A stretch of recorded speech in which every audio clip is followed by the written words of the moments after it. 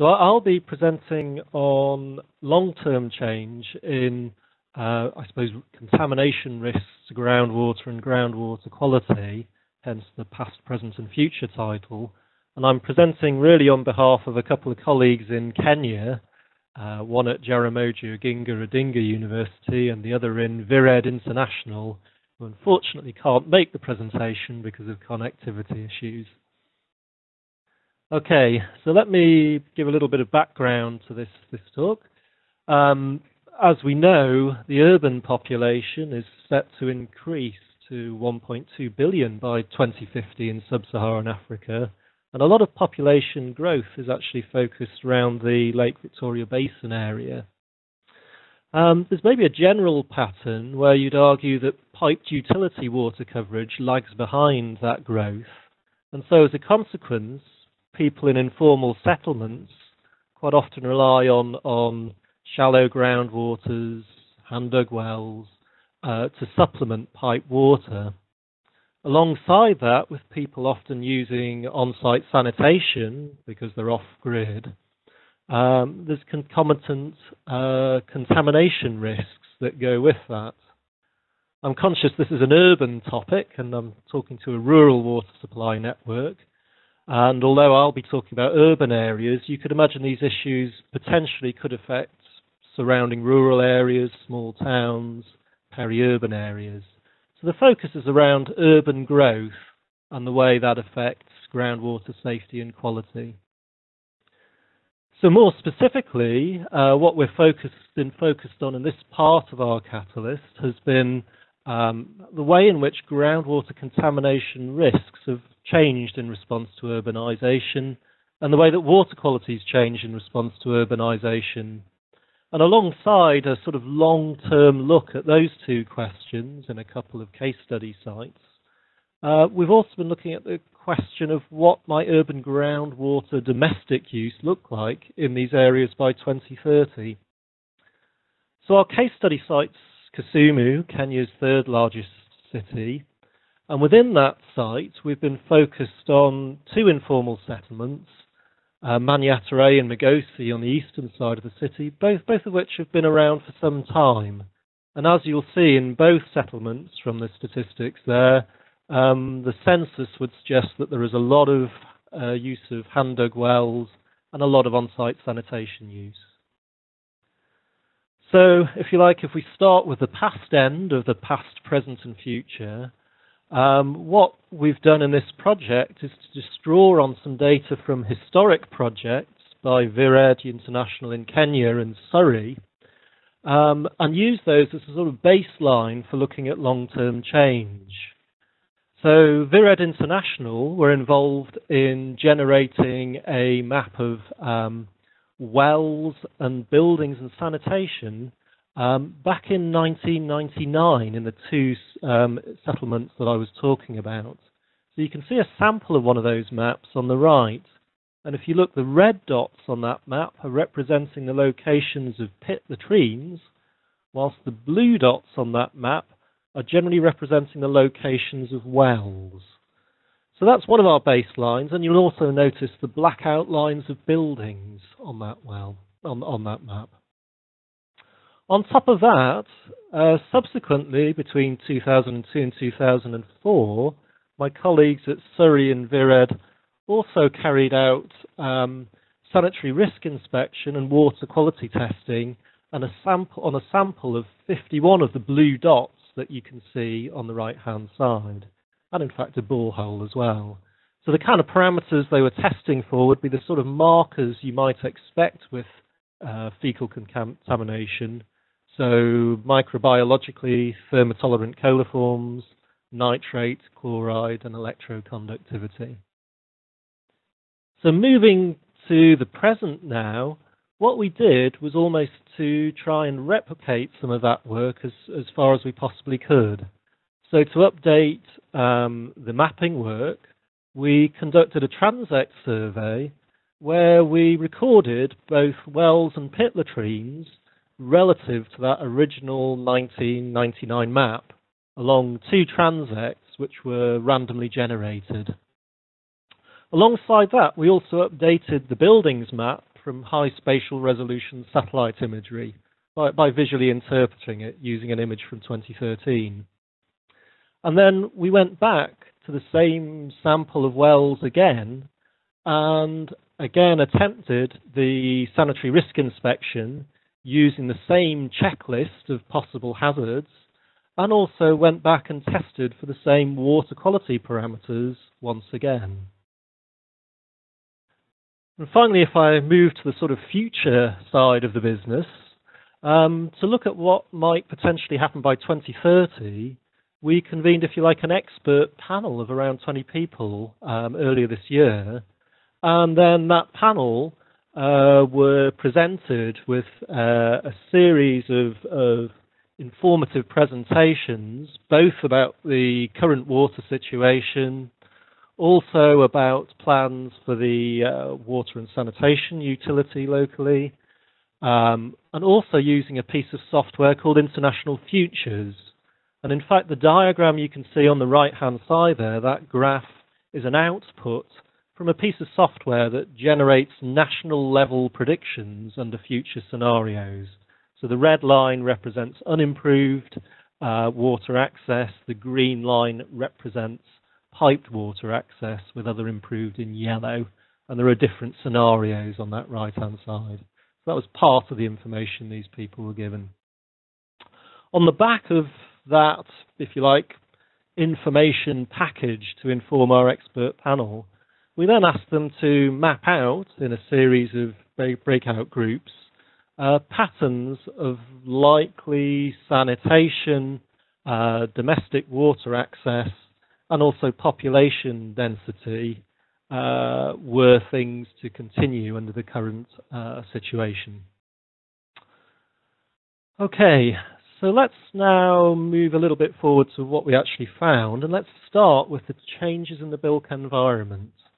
So on the left-hand side here, what we see is a map of buildings from the 1999 baseline, and on the right-hand side, the same picture for 2013.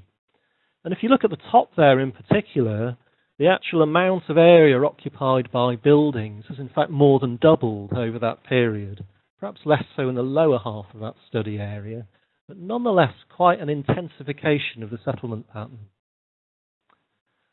I'll present a little bit of photographic evidence as well. Um, here's one of these shallow hand-dug wells from 2004, and the same well in 2013. Not very much change on that one. If I move on, on the other hand, and mention the borehole that originally was part of our sample uh, uh, back in 2004, uh, there is in 2004. By 2013, that's no longer working. And indeed, the replacement borehole that had gone in subsequently also no longer working. So quite a mixed pattern of change, just uh, qualitatively through the photos. Let's see some more quantitative data on, on the changes now. And these are our Transect survey results. So what we have here is on the left-hand side in blue, we've got some information about the well distribution and how that's changed along the transects. And on the right-hand side, we have pit latrines and how they've changed along the transects. And if you were to have a look there, the left-hand bar are the number of wells present both in our baseline and when we went back this year. The middle bar shows the number of, well, of wells or pit latrines that have disappeared, and the right-hand bar shows new wells that have appeared by 2014 or pit latrines that weren't there in the baseline. So what you can see actually along the transect is that the number of pit latrines and indeed wells has actually both increased. If we move on further, you might then ask yourselves about sanitary risk. And here we have the number of hazards identified through a sanitary risk inspection during the baseline survey, and then once again during the follow-up survey. And if you notice there, there's a sort of tail of low risks that's disappeared, and there's a little bit of a shift across to the right-hand side. And you can imagine that being to do in part with the uh, uh, pit latrine picture that we just saw. So that's the built environment. What about the water quality? Uh, well, I'll focus on just a couple of parameters here. um, we talked about thermotolerant coliforms, and we actually took repeat measures of those from 2002 to 2004 uh, in the baseline. In fact, fairly mixed picture. It's a little bit hard to discern very much going on there.